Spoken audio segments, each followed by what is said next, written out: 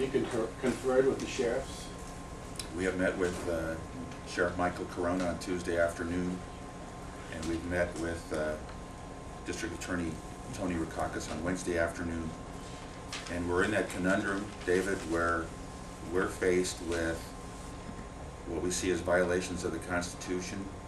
And as an elected official, I, I I took an oath to uphold the state constitution. So we're sort of in that area where you say, well, do you ignore what you've learned, or do you at least bring it to the board for a vote and get some resolution? And so they fully appreciate the, the situation. I don't, are you, in- uh, where is it, where are the sheriffs in terms of their contract now? We are still negotiating with AOCDS. It should have been uh, resolved in October of last year, Uh, but uh, those negotiations are still ongoing. Uh, Are they currently operating under a three-year contract, you know? Um, I am not positive, Dave, maybe the CEO or the chair might have the answer.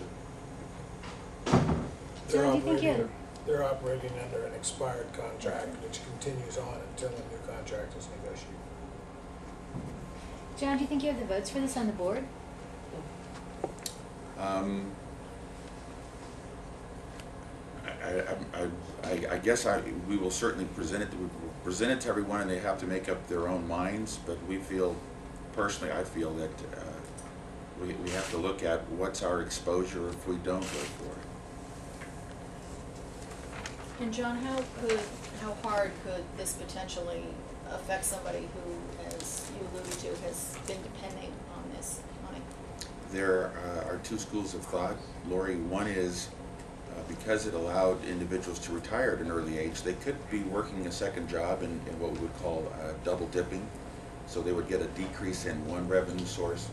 Uh, So it wouldn't be a, a a real uh, concern fiscally.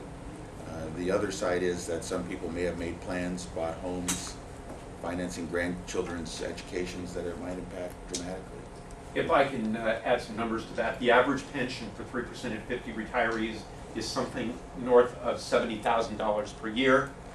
Uh, The worst-case scenario is that someone's annual amount will decrease by a third, but many, of course, will have a much smaller decrease because only those who retired that immediate first day would have that one-third decrease. Everyone else would still have some blended rate that included three percent and fifty after June 28, two thousand two.